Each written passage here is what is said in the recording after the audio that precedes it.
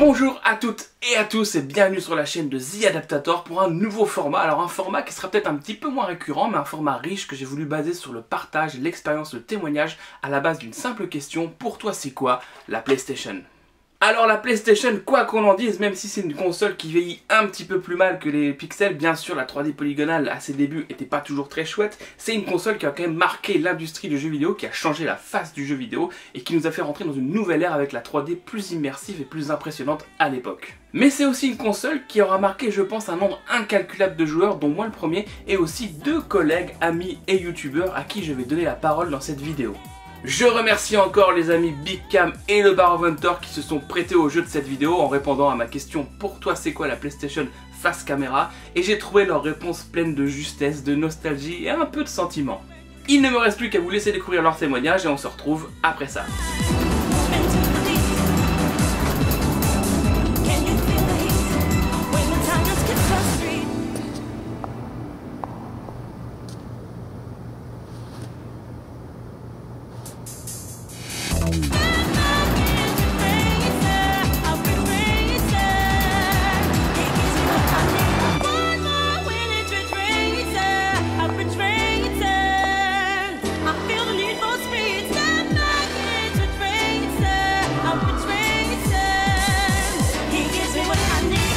PlayStation, pour moi, c'est une console extraordinaire.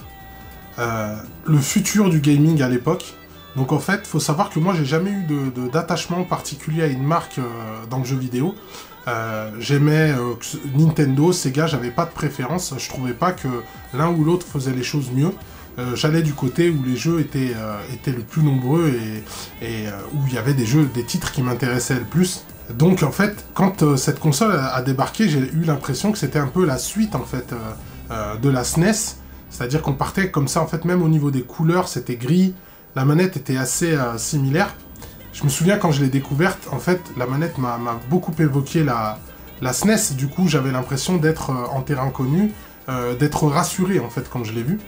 Et pour moi, voilà, c'était les jeux en 3D. C'était quelque chose d'extraordinaire. Pour moi, la PlayStation, c'est c'est une console de jeu, déjà. C'est une console de jeu toute grise. Console de jeu 32 bits. Console de Sony. Euh, mais c'est pas que ça. Non, c'est pas que ça la PlayStation. La PlayStation, pour moi, c'est euh, une part de ma vie.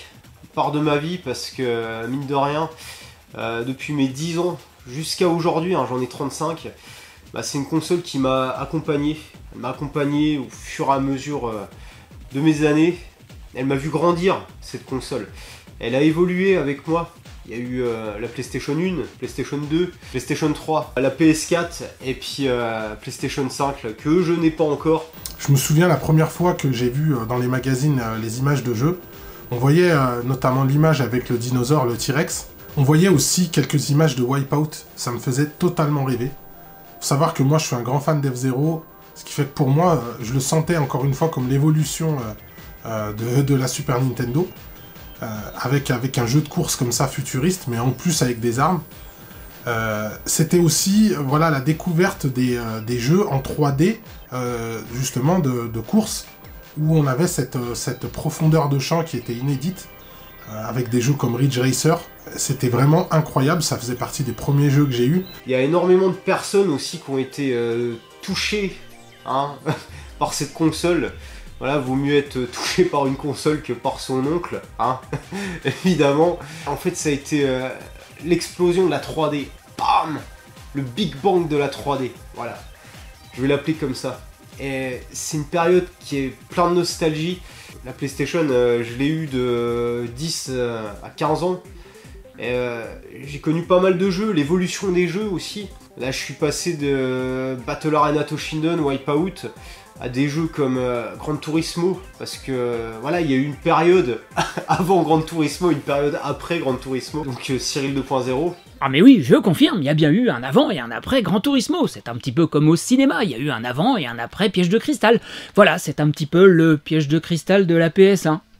Ouais, on a vu cette évolution euh, graphique Et puis on s'imaginait que les jeux, voilà, ça allait, ça allait être des trucs de ouf. Destruction Derby aussi, en fait, que j'ai découvert aussi sur cette console. Le premier m'avait euh, totalement subjugué avec les impacts dans les véhicules. C'était la première fois qu'on voyait ça. Des, euh, des, particules se détachaient du véhicule euh, lorsqu'on entrechoquait les voitures entre elles. C'était également, en fait, les premiers jeux de manière cinématique. J'évoquerai Metal Gear Solid. En fait, c'était la première fois qu'on jouait dans un jeu où on avait vraiment cette sensation d'enjeu dedans, euh, la sensation de sauver le monde, d'incarner vraiment un héros euh, très charismatique. Donc c'est vraiment un jeu qui m'avait bouleversé euh, complètement à l'époque. C'est aussi la première fois que j'ai eu peur dans un jeu vidéo, notamment avec Resident Evil. je me souviens d'avoir découvert la cinématique en jouant à un autre jeu. La démo était fournie à l'intérieur en fait du jeu, dans le CD. Sur un jeu qui tourne ici, du moins la première version, c'était sur Street Fighter 0, premier du nom en, import. On va aborder aussi les jeux de baston. Euh, c'était aussi une console de jeux de baston, quoi qu'on en dise. Euh, que ce soit avec les premiers jeux, comme j'évoquais tout à l'heure, Toshinden, un jeu 3D à la Street Fighter, c'était la première fois qu'on voyait ça. Euh, un autre jeu qui tourne derrière moi, qui est Tekken, donc là c'est l'épisode 3 qui tourne derrière moi, qui est également sorti sur PlayStation. Donc c'est, il a vraiment marqué l'ère de la PlayStation. Moi je l'ai découvert avec le premier Tekken, et pareil, encore une fois, c'était cette mise en scène qui était euh, dans les jeux. Euh, c'était juste extraordinaire. C'était aussi l'ère vraiment des cinématiques qui se démocratisaient. On avait déjà vu ça avec le Mega CD, vu que c'était une console CD également. Mais c'était euh, un accessoire plus qu'une console en soi. Et on n'avait pas cette qualité dans les cinématiques, notamment au niveau des images de synthèse. Tekken, c'était, voilà, on avait une fin par personnage en images de synthèse, on avait une intro qui était absolument extraordinaire. Euh, la mise en scène dans les combats, j'en parlais, lorsqu'on faisait un coup spécial euh, ou euh, une, comment dirais-je, une shop. c'est aussi les jeux en 2D qui étaient, vraiment subjugués. Le premier Street Fighter 0 m'avait beaucoup marqué, le deuxième énormément. on ne connaissait pas sa date de sortie, on était allé de manière un peu random dans un magasin d'import et on voit que le jeu était là. Je peux, vous dire que ça nous a tout de suite beauté, on l'a acheté immédiatement. Et quelle surprise en le découvrant. Vraiment un titre incroyable. Des jeux qui m'ont marqué, bah il y a eu euh, Destruction Derby 2. Alors ça, euh, pourquoi Bah ah, c'est violent quoi. Je l'ai, euh, connu par rapport à un PlayStation Magazine, ce Destruction Derby 2. Et, été une claque pour moi, et puis, puis un pote, un pote qui est, décédé malheureusement. Voilà. Ça c'est la partie triste de la vidéo. Mais ouais, donc ouais, il y a eu de la hype sur, euh, ce jeu. Et euh, quand il est sorti, euh, qu'on l'a eu entre les mains, on a déjà eu la démo, on s'est dit, waouh, c'est un truc de niquer quoi. Tu peux faire des tonneaux, tu peux faire des sauts, tu peux rouler à des vitesses prodigieuses. Et, ouais, ça a été une grosse claque. Et à chaque fois que j'y rejoue, j'ai toujours cet effet quoi de dire, dire ouais, c'est bien ouf quoi. Les, les, mecs ont été loin dans leur délire. Mais il n'y a pas eu que ça. Il y a eu Ridge Racer Type 4 aussi, un jeu euh, que j'ai mis du temps, énormément de temps à finir, parce que pour finir, fallait, fallait avoir toutes les voitures. J'ai mis plus de 20 ans hein, à y arriver, donc oui, c'est très long. La PlayStation, c'est aussi le partage avec les amis. C'était la première fois qu'on commençait à faire des tournois. Euh, dans les jeux, que ce soit en jeu de versus mais également en jeu de sport, avec la série des Winning Eleven. Donc c'est pour moi le premier jeu de foot que j'ai apprécié euh, sur cette console, vraiment aimé quoi. Il y avait des tournois avec des barbecues chez des amis, on se défiait entre nous, on faisait des deux contre deux, c'était juste incroyable. Et c'est pour moi un peu euh, la console qui a ramené un engouement euh, populaire par rapport euh, aux autres consoles précédentes. Là, on voyait tout le monde qui se mettait à jouer aux jeux vidéo, tout le monde avait envie de l'acheter. C'est également une console qui m'a beaucoup marqué au niveau du son. Même s'il y avait la Mega CD qui proposait aussi des sons en CD, je n'ai pas eu assez de temps pour vraiment pouvoir en profiter. Et là, c'était de manière en fait générale, c'est-à-dire que quand on achetait un jeu, il y avait des musiques de qualité CD et des sons vraiment incroyables.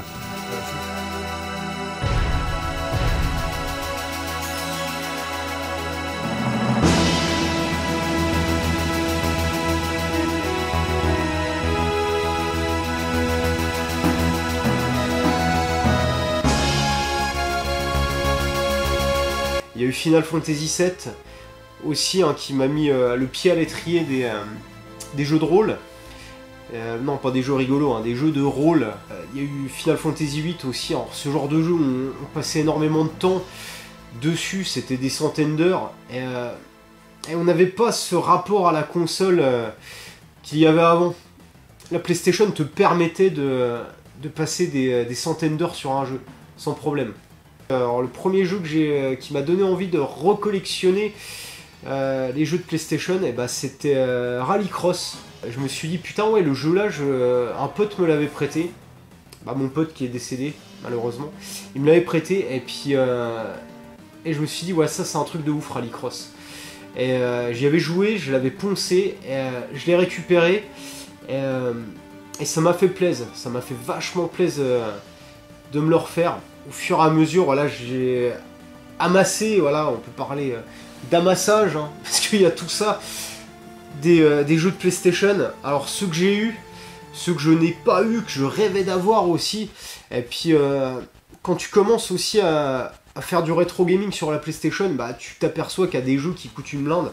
T'as beau acheter des jeux pas chers, 2-3 euros, bah mine de rien, t'as du Castlevania, du Suikoden, euh, du Team Buddies, voilà, qui va coûter plus de 100 euros. Mais euh, d'un côté, tu dis ouais, il faut que tu les possèdes. Alors t'essaies quand même de trouver des, euh, bons tarifs, mais, c'est compliqué. C'est la découverte voilà, des jeux vraiment extrêmement profonds, des jeux comme Silent Hill qui, voilà, qui vous touchent vraiment au, plus profond de vous-même, voilà, qui vous pose- poussent à vous poser des questions. C'est vraiment la première fois qu'on découvrait ce genre de jeu, enfin pour moi.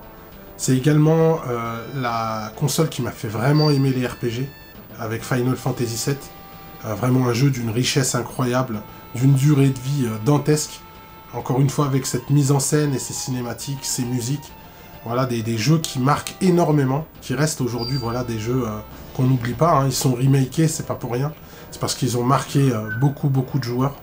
Je suis vraiment rentré dans le trip collection, et puis même, même joueur, parce que maintenant j'ai euh, j'ai une chaîne, chaîne YouTube, une chaîne YouTube, donc abonnez-vous hein, si c'est pas déjà fait. Ouais, ça m'a permis de, jouer à mes jeux, et euh, au final là je me trouve plus comme un joueur que comme un collectionneur. Et puis puis je, puis je m'amuse, je m'amuse voilà à jouer à la PlayStation. Je m'amuse à ça parce que quand je suis euh, là dans mon PlayStation Garage, donc c'est comme ça que j'appelle ma pièce, hein, euh, même, même en privé, hein, pour, euh, pour ma femme, pour mes enfants, voilà, ici c'est le PlayStation Garage. Et puis je suis là, je, me replonge dans mes folles années, quoi, mes années d'insouciance où, euh, où t'en as rien à foutre, quoi. Le seul problème que t'as, c'est de, termine- te- de terminer ton, ton devoir de maths euh, voilà, dans le bus avec les secousses, quoi. C'est le seul problème que t'as quand, quand t'es gamin et que tu joues à la PlayStation. Pour moi, la PlayStation, maintenant, à ce moment euh, précis, actuellement, ce soir, au moment où je vous parle, où je te parle, et bah c'est une échappatoire. C'est ça. Ça, permet de, s'amuser, euh, d'oublier un peu euh, tout, tout ce bordel qui, qui se passe, euh, qui se passe dans le monde. Mais là, voilà, je suis dans ma bulle, je suis devant ma télé, et puis, je m'éclate. Voilà, c'est tout. Pour moi, la, la PlayStation, actuellement, elle, permet de m'amuser. De m'amuser, de passer de bons moments, et, et puis c'est peut-être rare, quoi, d'avoir des passions comme ça qui, euh, qui te font un échappatoire, qui te font penser à, autre chose. C'est également le- la console aussi de ce que j'appelle les party games, c'est les, jeux de sport euh, olympiques. Euh, ça existait également sur certaines consoles, hein, notamment track and field, mais là vraiment c'était subjugué, on avait vraiment la sensation d'être dans l'arène et de, et de jouer avec ses potes à 4, c'était juste extraordinaire. Mais ouais, les, les PlayStation Magazine, c'est mes premières branlettes, évidemment, parce qu'il y avait beaucoup de photos de Lara Croft. Ah bon, ça, tu pourras peut-être couper. hein. Et voilà, c'est vraiment une console particulière. Euh, si je devais euh, résumer euh, une chose en particulier, euh, je dirais l'immersion. C'était la première fois qu'on était autant immergé euh, dans des jeux vidéo. La 3D euh, y jouait pour beaucoup, je pense. Mais c'était, euh, voilà, on se projetait euh, totalement en fait dans cet univers. Et ça a permis vraiment de démocratiser le, jeu vidéo au grand public. Et même des gens qui n'avaient pas forcément de console ou qui n'étaient pas euh, intéressés par les jeux vidéo, en jouant à la PlayStation, en fait, ils, arrivaient à se projeter et, à vouloir en acquérir une. Donc voilà ce que ça représente pour moi, beaucoup de souvenirs. Euh, ça a forgé euh, ma vie de joueur.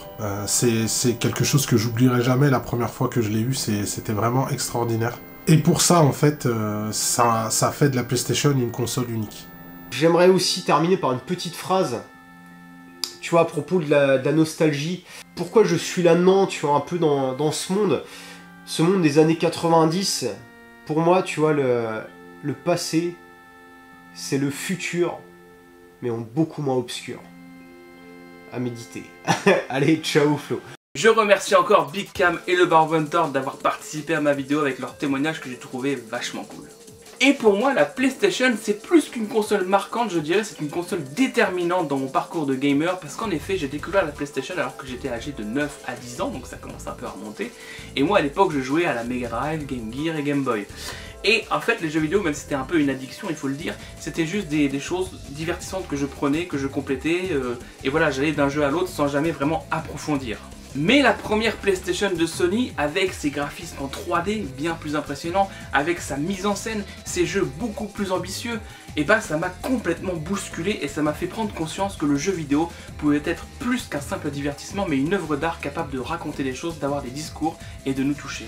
Enfin, touché pas par le tonton, hein, Baron Von on s'entend bien. Mes premiers chocs visuels et immersifs, car c'est l'immersion qui m'importe vraiment beaucoup dans les jeux vidéo encore aujourd'hui, c'était avec les jeux de Psylogis, Colony Wars et J-Police, qui étaient des jeux vraiment formidables, des jeux de pilotage dans des environnements en 3D avec des effets de lumière formidables et surtout des cinématiques d'introduction et même entre l'émission qui nous racontaient une histoire épique qui nous dépassait complètement, mais on était à fond dedans. Mais le jeu qui a tout fracassé dans mon parcours de gamer, c'est bien entendu et pour beaucoup le tout premier Metal Gear Solid sur PlayStation. La première fois où on jouait un jeu aussi inventif en niveau du gameplay qui mettait l'infiltration en avant. Alors moi j'avais pas connu les, épisodes sur MSX bien entendu j'étais trop jeune mais là c'est la première fois qu'un jeu me disait tu, tu ne dois pas tuer tout le monde forcément pour arriver à tes fins, tu dois te cacher, passer par des chemins, etc. Où il fallait des fois poser sa manette pour écouter les cinématiques, comprendre ce qui se passe et où on jouait un personnage qui était complètement dépassé par les événements et qui était lui-même manipulé, comme nous le joueur, manipulé par le scénario. Metal Gear Solid, c'est la première fois que j'associais le jeu au nom d'un auteur, donc Hideo Kojima, avec son scénario hyper profond, plein de messages et de discours. Et d'ailleurs, comme j'étais assez jeune à ce moment-là, j'ai pas pu tout comprendre. J'avoue que la première fois que je faisais le jeu, c'était plus pour le côté action et avoir la, la finalité du jeu. Mais enfin, après, je crois que c'est le premier jeu que j'ai pris plaisir à recommencer plusieurs fois pour en découvrir toujours plus et comprendre vraiment tous les discours du scénario. Donc on peut dire que Metal Gear Solid restera un jeu qui m'a marqué à jamais.